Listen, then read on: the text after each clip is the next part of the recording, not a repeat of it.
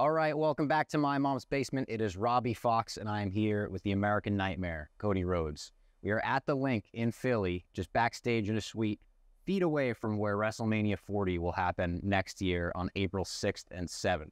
Philly, I think, is Cody Rhodes country. I think back to Money in the Bank 2013, that Money in the Bank ladder match. I was there. Robbie That crowd was going insane for you. Do you feel the same way about Philly?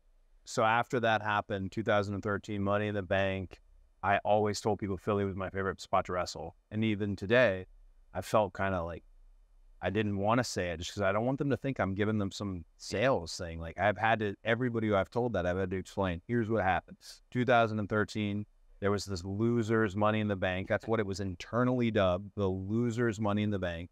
And the champions one was later that night. Yeah. And that crowd got with what we were doing and and and just lightning in a bottle. I remember that's how it was described. And after that, Wells Fargo was my number one place. I'm hoping the energy is the same coming to Lincoln Financial and being in Philly because I'm not. There's nothing Philly about me. Yeah, no. But maybe that's why it, it, it works. Uh, they're they're a different type of fan. They're a unique type of fan, and for them to have got with me that night, a career milestone. I wouldn't have stayed with WWE as long as I did had that moment not happened. Really? Mm-hmm. Were you already thinking about things? 2013? Yeah. Oh yeah. Really? 2013. Uh, I mean, my foot originally, I was like, I feel like after 2011, 12, I was already starting to explore the idea in my mind of could I could I leave home? Could I could I try something different? And the world was growing. Um, but yeah, 2013, I definitely was at least thinking about putting a foot out the door. So, and then that was a moment where, I, nope, nope, we're we're clearly doing something right. But you know, What did that feel like to get embraced by such a hardcore wrestling fan? No pun intended, hardcore. But when you Yeah. go back to the locker room, like you said, internally, that match is dubbed like the losers ladder match. yeah, Do you have like a feeling of like fucking right? We did that. I think the goal always was everybody was in that Sandow, Fandango, like everyone involved with that match was uh, Moxley. You know, like let's make, let's blow them out. And I believe someone who was in the later match tried to say like, oh, they they they did too much stuff. They they he got they got real old timer with it, which makes me laugh because that's that's your way of knowing like you couldn't follow it. Yeah. And there was plenty of guys who could follow us, no doubt. But the match, at least, they couldn't follow it. So I, I felt like it was definitely a moment where we were all all gung ho to show out. But I, I remember leaving just being very excited because Philly is again nothing Philly about me, and Philly was not always particularly good to Dusty. Uh, they weren't bad, but I do remember Dusty one time painted his face like the Road Warriors just to make sure like I'm good, right? Like you guys like the Road Warriors, so Yeah. I'm good. He would have never done that uh, had he had a, a confidence in them being about the American dream. But for some reason, they uh, chose me that night, and then I was able to choose them. Yeah. We are here to talk about WrestleMania. Yeah, I heard you recently talk to Sam Roberts about last year's main event at WrestleMania. yeah. You described it as bitter. Had an earthquake. You, did. I saw that. Yeah. Um, you decide, described the main event as bittersweet because you didn't win it. The feeling immediately in the locker room. Do you? Does your mind go straight to WrestleMania 40? Do you go right back to how do I get back here? So I'm in the ring and they've left. Roman's up the ramp. I hear the pyro. It's the shot you've seen, but in my mind, I didn't know how close he was. And I was just sitting there with my hands, you know, draped across my knees. And I, you can see me telling myself, I verbally told myself to get up, get up. And the f- only thing I learned from being in a WrestleMania main event, and I know everybody was like, oh my gosh, WrestleMania main event, hardest match to get into. Oh, your dad never did that. All that stuff. The only thing I learned was, well, I got to get back. Yeah. I got to get back, and uh, and I got to win. Like, I can't, I can't call it. I got to win, and uh, that was a, uh, you know, I mentioned that to Sam, but bittersweet. I mean, more bitter than anything. The the only thing I was trying to do was look at as many fans as I could, let them know like, gonna be okay Yeah. you had a great time, right, guys? It just didn't end the way we thought, but you had a good time, and it it was a very tense, awkward, cold feeling uh, at WrestleMania 39. So it opens up opportunities for WrestleMania 40, perhaps, to be a different feeling. How quickly did you go back and rewatch the main event from last year? Never watched it. Never. No. Do you ever watch your your big matches? Uh, I watched. If someone asked me specifically to watch it back, I will. I'll watch it back. Or if I blew something, like if I knew something stunk, Yeah. then I'll watch it back to see like what were you thinking, what were you doing, what happened here.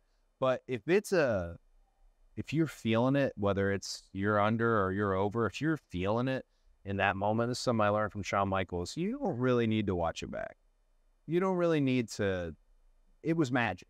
Yeah. Uh, and it's the same when guys come back. How was it? How was it? You know, usually, if it was, you know, for me, I describe everything in baseball terms. That was a double. That was a triple. But when it's a home run, like we don't need. There's no conversation we need to have. You know, like that's a home run. That's uh, that's how I look at everything. Uh, and uh, for for Mania, I didn't want to watch it back, not just because of how it ended, but also uh, my family was in the front row, and uh, I don't know if I can take looking at their faces. You know, they were filming them as much as they were filming me. I, I don't know if I want to see my mom uh, go through that, especially with how excited she was to be there. But yeah, I haven't watched it back. That's crazy to me. Yeah. Do you uh, feel like it like would take away from the experience if you thought a match was amazing and then you watched it back and if the broadcast didn't make it out to be That might that might be why we don't watch them back. It's like, oh, that felt amazing, and then you do exactly you watch it back, and uh, maybe not. Maybe, Yeah. yeah, no, that might be another reason. Result aside, how did you feel about the match itself? Um, I feel like I'm stuck. I'm fixated on the result. Yeah. but I, I will say um, there's a moment in there where it felt like like we were about to take over the world. There's a moment in there where it felt like, my gosh, like to me internally, how did you get here? But you're here. Like be present, be in this moment because you're about to take the keys to the literal kingdom, one that you walked away from, one that your family has always kind of been at odds with. It- They're about to be yours and then they they weren't. Um, but yeah, um, there was a moment in there that I I had that feeling. I would say uh, the results I'm always fixated on, but it did seem like a very very good match. Yeah, uh, I feel like people who expect they expect the highest level from a WrestleMania. I felt like this Mania gave them. Yeah. No, I think it did as well. And it wasn't your first time in there with Roman. Obviously, you have a, a long history with the Shield, but it was your first time in there since he's become the tribal chief. I feel so. I feel like it was the first time ever because it was the tribal chief, and it was the American Nightmare. These brands that didn't exist Yeah. when we were kiddos and vying it out for, you know, whatever it was, the Shield versus the Rhodes Brothers. That's why it felt like brand new to me. And it's the same as if I was to wrestle like a Randy Orton today. Yep. it would feel brand new. Uh, I don't think Randy ever really wrestled. Uh, he did, no doubt. Yeah. like I'm not discounting any of that but it's a just new me. It took me a lot longer to get to the place I'm in than most of these guys. So it's given me this whole new lease, more time on my career. Um, where at WWE, we've had these really amazing responses in all these different cities, all these and responses with, you know, acoustically, but also merchandise. And what I've, I don't take it for granted, but something I've noticed about it is it's, it's because I haven't, I've never been there. Like Yeah. I might have wrestled at Wells Fargo X amount of times, but the American Nightmare and that whole bit has never been there. And that's been like a lot of first time ever runs and excitement. Yeah. Speaking of first time ever, first time working with Brock Lesnar recently, I'd be remiss not to ask you, what's it like to get thrown around like a baby by Brock Lesnar? Brock Lesnar uh, throwing you around. I mean, the first thing I I really take from it is I he's manhandling people. Yeah. When you're a grown up, you don't feel like being manhandled anymore. You've been in an industry where we're vying for leverage and grappling with one another. You don't want to be manhandled. That guy gets everybody. He's that strong. But the thing about him is is that's scary. The thing about him that's genuinely scary is how quick he is. And I think people who watched him in the UFC saw how quick he was, but seeing how quick he is at his age and at this level, just I actually feel like he's never been better. And I was so glad that we got to have three together and I was able to get two wins out of it at this point in his uh a career. I said this in the press conference after SummerSlam. I don't want to ruin the lore, the allure, the mystique, and I don't think I could of Brock Lesnar. But I will say, if you've heard negative things about Brock Lesnar, I I take them with a grain of salt because I feel like when he's gone from this, he'll be greatly missed for how unique and professional and just somebody who's going to make you earn every centimeter you get. That's a psychology that some of this doesn't have anymore. And to be able to feel that and understand that and learn from that, yeah, absolutely. A unicorn. He is a unicorn in the business, just special. And I don't ever want to wrestle him again. I don't, uh, but uh, it was a hell of a learning experience. Yeah, before we started, I said I was at SummerSlam. Moment in that match, he picked you up and just threw you over his shoulder. No concern with how you were landing, where you My double landing, Just yeah, it was yeah. That was That was my best shot. Was a double leg. I even used my head as what they call the third arm, where you try to use Yep. your head, and it didn't even. He didn't even. He didn't even backpedal. Just picked me up, and what we would call potato sack me. yeah. Um, that's scary when you're up there and you don't know where you're going to land. That's for sure. But a lot of a lot of punishment in all those matches. That somebody asked me earlier, how long does it take to recover? It used to take no time. You could get up the next day and do it again. The day after SummerSlam, I was on my bus. I slept 11 hours. Like I was in like an Odin sleep. I was locked away in this deep black, like just locked away to recover just because my body was ravaged. But that was a great SummerSlam. Ford Field was a great host. Detroit was a great city for it. A lot of really good stuff for charity and community uh, with the food bank and packing all these meals. Just a, a really great event. WWE coming to these shows, you've seen this for years. The way they're doing it lately, and I don't know if it's Nick Khan, I don't know, it might be Nick, you know, like there's this level of detail that's been brought to visiting cities that let's give something to the city, you know, and I, now you have people bidding on WrestleMania and Philly's going to get all of that. Yeah. Yeah. It is crazy. Um, do you have a favorite match in that trilogy with Brock?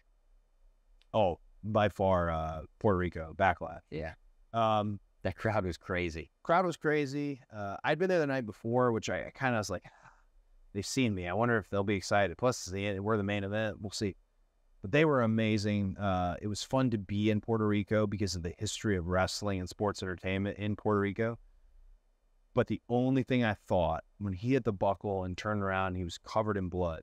The only thing that came to my mind, and this sounds so silly, but a wrestler or a fan will understand this. The only thing that came to my mind was, this is Puerto Rico Yeah. because I'm thinking Abdullah the Butcher. I'm thinking Carlos Colon. Yeah, bro. Like it's just I was thinking at a different level about like just the hardcore and you know Bad Bunny had gone out there earlier and had a, a heck of a a showcase with Damian Priest, but that was special. I hope we get back to the island for sure. I had an unbelievable time. I did the press conference, Mhm. I did SmackDown, I did the dark match after SmackDown, and then the next day to do Backlash. It was exciting. I've loved all the international shows, the Montreal show, Yeah. the Puerto Rico show, uh, London, and for uh, Money in the Bank, Clash at the Castle. I Yeah, feel like that's been such a big part of the WWE the past couple of years as well, like expanding back out for televised events. Apparently, well, how about Cena just telling people WrestleMania was going to be in London? That was crazy. I love too that that's not a thing. no, that was like your uncle showing up at Christmas and he's like,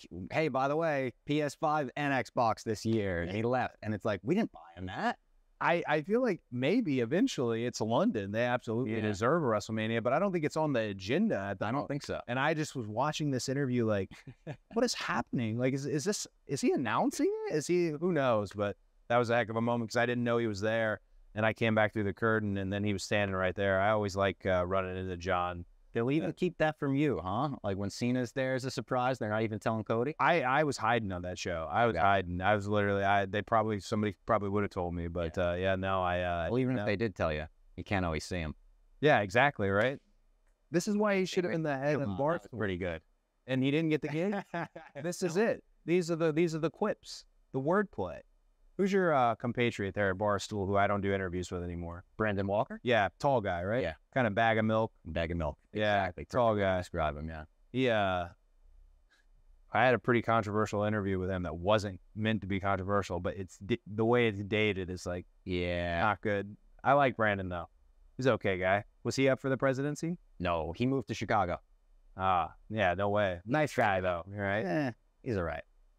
Brandon Walker's all right. He's all right. There it is. He's right. What is your proudest match you've had in the WWE belt to belt since your return? Uh, since I returned, ooh, boy, proudest. Um, gosh, I want to say Royal Rumble, but I didn't really have a tough draw. Oh, you entered 30. I came in at number 30. I would say the proudest uh, moment is probably a toss up between the Royal Rumble and Brock Lesnar at SummerSlam. Okay. Mainly because of what happened afterwards um, with Brock, not knowing if he's going to F5 you again, taking his gloves off, not knowing what's going to happen there. You exploded his shorts. The shorts are, you know, like Yeah. I, uh, I was curious what was next, and that was genuinely not anticipated. So it was just a really, it it felt like okay, I'm I'm doing something right. I'm I'm I'm getting the attention from people that I I want to get their attention, and I'm I'm kind of I'm making as much noise and rattling the cages the best I can. So yeah, those two moments in particular, I feel like uh, every place we go to is I'm proud of it and excited. Uh, I would say Hell in the Cell, but I'm more embarrassed by my dumbass getting hurt. Yeah. Um, Talked about that a lot in the documentary. yeah, yeah. So Yeah. But yeah, the Rumble and SummerSlam were very special. If you had to do one over, wrestle another Hell in a Cell match with a torn pec, or take that crazy table on fire spot from, you know, the top rope. from myself, Yeah. uh, the fire was bad. I can show you some pictures. I flayed my back. Yeah. Um,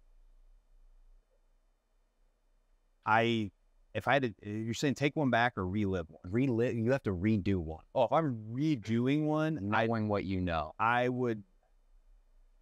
I can't. I, I don't know. I don't. I don't want to redo either. But they had like there was a purpose for Hell in a Cell. The purpose was I didn't want people to go up. That's why he's never made it. Finally, in the main event, here he got hurt. That's why he never made it. So I wanted them to know, no, no, no, we're gonna do something different with this injury. And the other one was like me defined as a person trying to get you to watch the alternative product. Yeah. It it was it wasn't about being cheered, it wasn't about being booed. It was please, when I'm on the channel, turn on the channel because every viewer counts for this company and I don't want to blow it and I want to I wanted to be a leader and and help lead the team there. Was it a great decision? No. Uh, did a lot of people try to help to make it better? Yes. Uh, and in the end, I'm not heat's on me, but I put a little heat on Brandi too. She loaded that table up, loaded it, loaded it. Which I think somebody said to her earlier, like, "Hey, the more the merrier." Yeah. I'm like, I Yeah. if that's the advice. Lighter but- fluid, right? Yeah. Yeah. Yeah. Andrade, not a mark on him though. I know he went face first, not a mark on Not a mark on him. I'll craziness. send you some pics. Gnarly. Yeah, I don't know if I want to see it. Yeah. Um, gross. I went to a dinner with a buddy the next night, and my shirt is sticking to my skin, like where the flay. Ugh, ugh. Yeah. I love hearing you talk about your relationship with Arn Anderson and how brilliant you think Arn is in this business. Um, you've said that if wrestling has Scorsese's and Tarantino's, he could be one of those names. What is one piece of wisdom that you could share with us that Arn has showed you that you you know put into your wrestling life day to day? It's gonna sound crude, but I mean, it was always something he'd hit me with was be selfish. I uh I've never really understood what be selfish means. I, I get it. And I and I can point at somebody and go, ah, I know what they're doing here. But Arn knew where I was at, and I think to a degree knew where I was going, even without it all happening. And knew that I might have been giving too much of myself away. I might have been too much of my equity away. I might have been giving individuals who weren't ready for the moment the moment. And that was always great advice that he had about being selfish. And uh, it, it kind of would reel me in for the matches. But but what I loved most about that period was I we have all these old timers and these legends and these luminaries. We have some that think about it and they just think that's the only way you can do it, how we did it. To watch one who was a genius, who made millions of dollars and helped others like Brock Lesnar, John Cena, Batista make millions of dollars. To watch one look at the crazy stuff that we were doing and go, okay, it, there's something here. It, he'd always say the high tech stuff. Say they can do both, you know, old school and the high tech stuff. That's what he'd always say, and uh, that was great. Terry Funk had that skill too. Terry Funk here in Philly knew uh, it's going a different way, just like college football. You know, the running quarterback, it's going a different way, and uh, Arn's somebody who's been able to see it. So nothing but love for for for Dubs. Um, I know he's just living his life, doing his thing, but love Dubs. I love that high tech. I hope that catches High tech. on. I want that to be Yeah, the high tech the new style of wrestling. High tech. High tech, yeah. That's really good. He always likes him. He's like, he can do both, you know. He got a good promo and the high tech, yeah, old school fundamentals. High tech. oh, I love it. Yeah. I'm gonna put you on the spot here. Bring it back to WrestleMania. What is the greatest WrestleMania main event of all time? It's not. Um, so my answer is it's not the main event. And I think I know what your answer is. But do you need it to be a main event? Meaning it goes that- on That's why I worded it like that because I think I know Cody, and I think he's gonna answer The Rock versus Hulk Hogan at WrestleMania 18. Am I right about that? Well, so Rock versus Hogan to me, it to me is the greatest match of all time at WrestleMania 18 because what we do involves the fans. It's they're not just observers; they are involved, and their involvement that night was unique and special, and it was the good stuff more than any match I'd seen in modern history. Their their involvement, but the greatest main event for a WrestleMania uh, might might be the one that had the most fruit bore from it, and that might be Stone Cold versus Shawn Michaels. Um, I don't know if bell to bell it was, but I know uh, Mike Tyson coming in with that super fast count So fast, yeah. and the stunner and the, the moment, but duck the kick back, the whole moment. It set WWE up for a completely different run. Uh, now it's a given, right? WWE is the most profitable. It's the hottest it's ever been in terms of record gross, record gross. The no comps listed TV is mind blowing. It's every show. It's really just, we're living in the golden era. We're living in this good time. That period, they were coming out of a little bit of hardship, and Austin brought them to the the promised land. You know, like I, I remember when he told me he was proud of me. I thought like my mind was the most profitable wrestler ever. Said he was proud of me. That feels good. Uh, so maybe that one. I also want to say one that's not maybe Savage Hogan as well. Oh, really? Only because it set Savage up. It Yeah. set, and it was a year long story. And you know, um, I feel like I'm forgetting a major one at some point in here because it's been Hogan so- Andre is a big one in terms of what you're talking about in terms Yeah. of setting the WWE Hogan- up, right? Hogan Andre is unbelievable, and and it's to me. There's some people who are like, I love Steamboat Savage. Like, yeah, I did too, but I definitely was there for like Hogan Oh, Andre slamming slamming him in the moment, and Bobby Heenan getting trash thrown at him. It's a Yeah. beautiful situation. Um, gosh, what was there's one though that's that's oh, I'd say modern history as well. Daniel Bryan getting into the WrestleMania 30 main event. I remember my mom. My mom's so critical. So everything is oh such and such looked bad out there. Such and such tan wasn't good. Such and such gear sucks. But just is weird. But I remember her saying like, she goes that that Bryan that made the whole WrestleMania, and and she wasn't wrong. That story coming out of the match with Hunter all the way to the take the ride of no, he's not going to do it. Close. So WrestleMania 30 really special too. I get that. That's my favorite. yeah, Dan, Dan, Bryan, eh, like pretty special individual, special, unbelievable talent. Uh, yeah, no. So that's a, that's another really good one. And the last time we did an interview, you were telling me about how surprised you are at how some of your students haven't even seen like The Rock wrestle. They know No. The Rock as an actor, Yeah, but they haven't seen, you know, his Yeah. matches against Triple H, the ladder match, something like that. What are three matches that you think all prospective students should watch before going into wrestling training that you just think would be good for you to have in your brain Before wrestling? Yeah, Oh, before uh, you even enlist in the Nightmare Factory? I, I will say Rock Hogan should be on that list. I'll say Sting Flair from the Great American Bash. Um, and the reason I say that one, it's not so much that is about a full company getting behind somebody and and setting it up. Well, you got JYD and Paul Orndorff, absolute legends at ringside in their gear. Uh, your El Gigante is handcuffed to Ole Anderson, and there's the horseman can't get involved. I mean, the ride they take you on. So there's the there's two, and then the third one. For that's tough. Maybe I leave the third slot open. Just mysterious. Maybe we say the third slot's you know a future WrestleMania main event. Maybe the main event of WrestleMania 40. maybe WrestleMania 40, the main event. Maybe. And if not, I do need to give you an answer. Though. That's that's a John Cena thing when you say what Oh, my next match? my Yeah. next one, yeah. Uh, I do need to give you an answer though, uh, as far as a match that they should watch. There's a. I've noticed you got to be contemporary. You, these kids come in, and they may not want to watch um, Hogan Andre. They they may not. It may be too slow for them, and, they, and maybe they will watch it, Yeah. but it's you can tell it's not it's not checking the box for them. Um, so maybe I'd move it forward to Shawn Michaels versus Razor Ramon in the ladder match. Yeah, just just to see uh, the psychological element of working with the ladder as something to climb, but also as a weapon.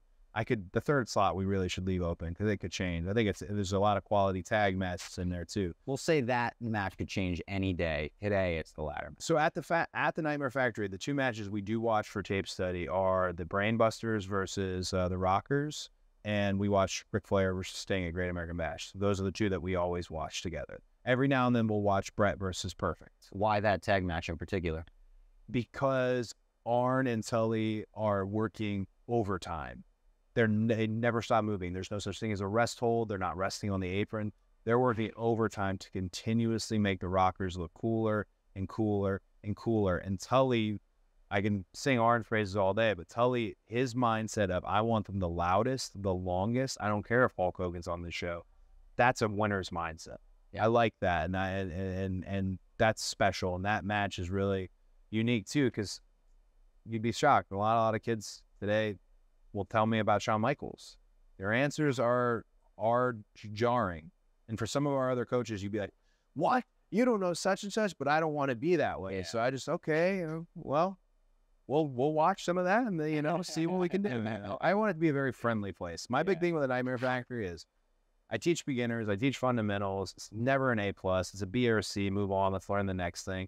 I want them to have a good experience revolved around the squared circle and wrestling. I don't want them to be. Uh, I don't like the word bullied, but I don't want them to be bullied. I don't want them to do an insane, insane amount of calisthenics. I don't.